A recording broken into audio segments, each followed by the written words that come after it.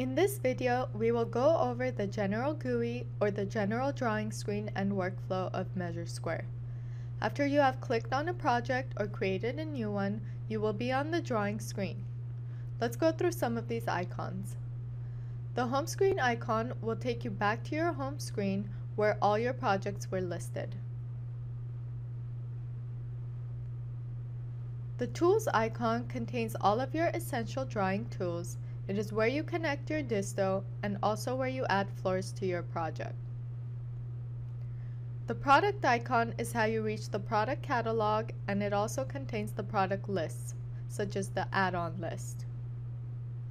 The estimate icon is where you change the layout, manipulate seams, and punch in any of the relevant numbers related to estimating, such as the cut margins or the roll cut roundups.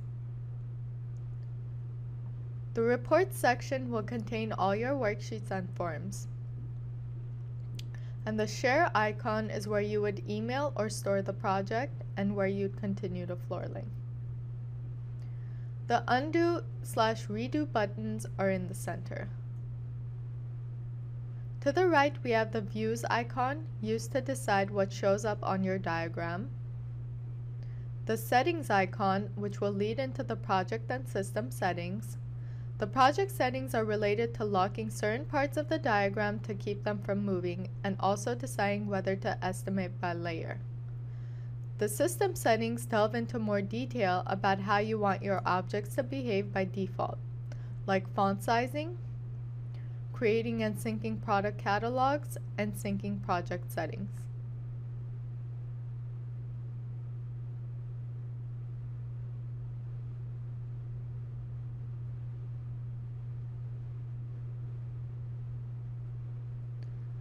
The help icon will lead you to our YouTube tutorials page, the user guide, and the knowledge base.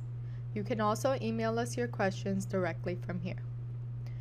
The arrow on the left side opens and closes a menu that will contain your tabs named Widgets, Products, Assignment, and Pattern. The Widgets menu will contain your objects like doors and windows.